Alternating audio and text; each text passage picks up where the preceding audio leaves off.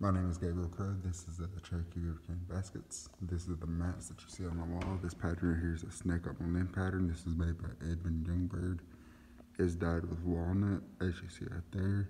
The name of the pattern is a dot and Field type pattern. It's a Mississippian pattern. It's well known between uh, tribes like the Chitimacha, the Choctaw, Cherokee, Creek, uh, other tribes like that. That was before European contact. It's one of the oldest patterns that we have as long as you see right here, these are more modern day baskets that are being made. Uh, the sizes that are being made here were by basket makers in about 1930s, 1940s, all the way to the 1980s and 90s.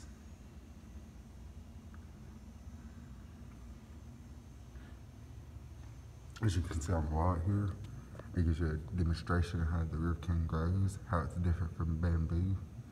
As you can see on the shooks on it right there that shows that it's too young, but it eventually will grow up in age to be able to use.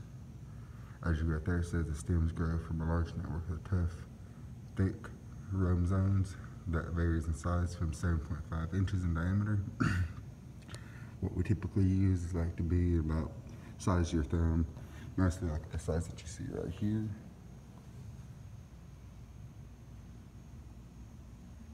Looking for the straightest pieces cane that we can find and they're best up in halves. Of see the inner membrane of that cane right there.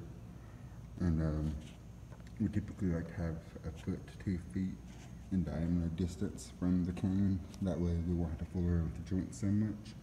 Um, what makes this cane very unique from bamboo is that when you work it up, uh, it won't separate and break like bamboo does.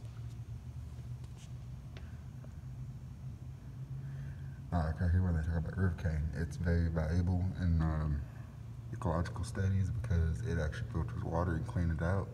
Uh, not only that, we always put our villages near where river cane patches were. Uh, some of the designs that you'll see here is like this one right there, that one's Star of the Mountain.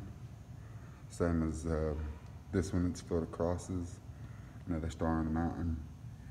Example of snake on the limb, uh, made by Edmund Youngbird.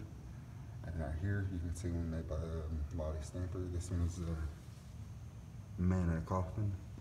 And then the next one that you have right here called the Peace Pipes design. And then on this one, you have the Stairway to Heaven, the Noonday Sun, Field of Crosses, uh, Chief Daughter's Heart, and uh, the Broken, uh, Broken Friendship in that one. This one's an example of man in a coffin.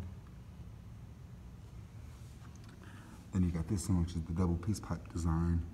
And you can kind of see how it was made by Ronnie, by Ina Bradley, which is one of the master basket makers that we have in this area. Next you have the diagonal style weaving. It's kind of where they take the design of a double weave and put into a single weave. Copy that same pattern that you'd put on to get a double weave to work. The style of rim that we use is made out of hickory and hickory lacing. At the top of it has cane wrapping on it.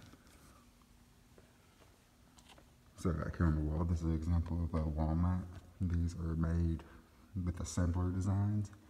Uh, wall mats are used for windows, uh, walls, uh, insulation, bed mats, all kinds of different things. This would probably be an example of a barrel mat if that's how was wanted to be used.